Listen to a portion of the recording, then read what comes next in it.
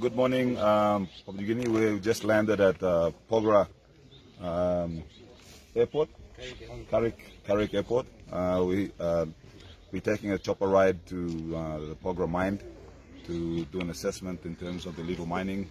You see, you can see on the bottom of the ridge, and that's the airstrip down there.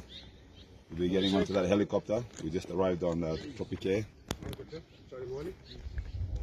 So you see the uh, police uh, be deployed here, so we'll have a discussion with them. We have the acting commissioner as well as uh, other officers, and we'll be talking about um, how to address the escalating law and order problems uh, in Porgera and Laiagam, especially the Porgera mine, where we're seeing uh, was, I think there was some kill, uh, shootings last night. There's a increase of large amount of build-up of firearms, and also the law and order issue is escalating out of control. Thank you.